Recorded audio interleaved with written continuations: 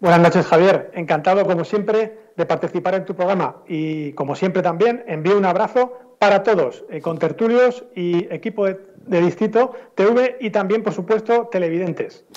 Muchas gracias, Lucio, por acompañarnos. ¿Qué te parece que Pedro Sánchez haya pactado con los bildutarras para mantenerse en el poder?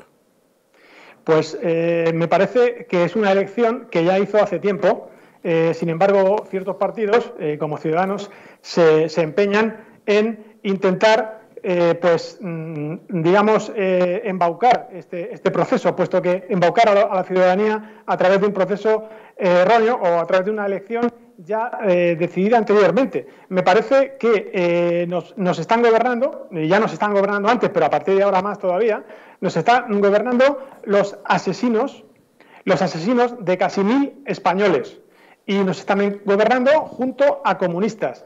Eh, por tanto, eh, nos estamos preparando, o, vamos, nosotros no, porque nosotros estamos luchando contra ello, pero muchos ciudadanos se están preparando, porque no hacen nada, la sociedad civil me refiero, se están preparando para eh, que una estructura de poder comunista invada todos los aspectos de su vida.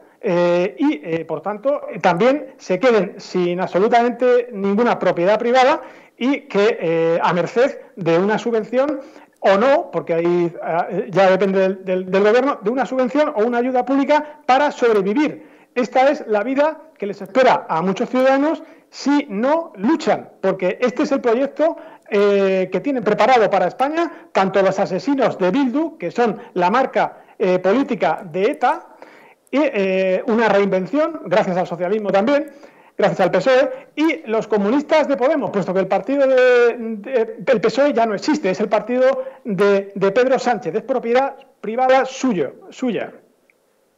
Lucio, después de tantas muertes causadas por ETA entre los dirigentes socialistas, ¿no sería lógico que muchas más voces críticas se alzaran desde el seno de este partido?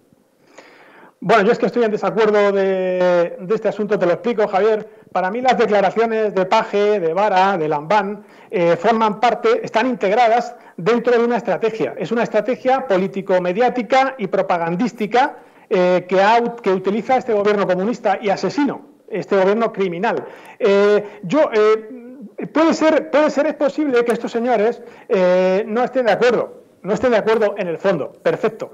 Pero, pero yo estoy seguro que estas declaraciones de Paje, de Vara, de Lambán, reitero, repito, ratifico, están pactadas previamente con Sánchez. Y explico por qué. Cada vez que se produce una acción política, eh, económica, inmoral, antidemocrática, criminal, por parte de, por parte de este gobierno, eh, unos días eh, después o unas horas después aparecen estos señores o algunos de ellos, aparecen estos señores en televisión o en los medios, eh, todos subvencionados por, este gobierno, y aparecen haciendo este tipo de declaraciones contrarias a, la estrategia del gobierno. Pero en realidad, eh, ¿por, qué, ¿por qué pienso que en realidad están de acuerdo?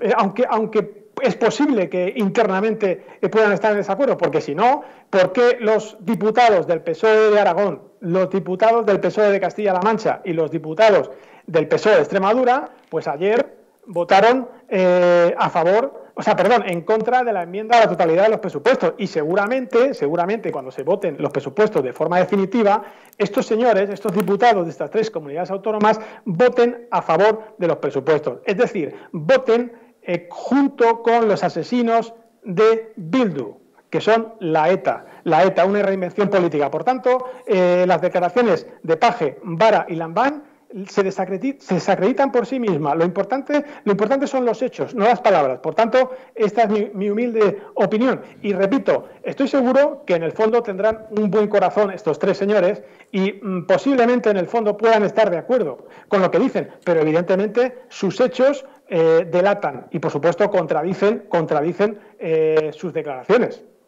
¿Y hasta qué punto crees que es Pablo Iglesias quien está marcando la agenda a Pedro Sánchez?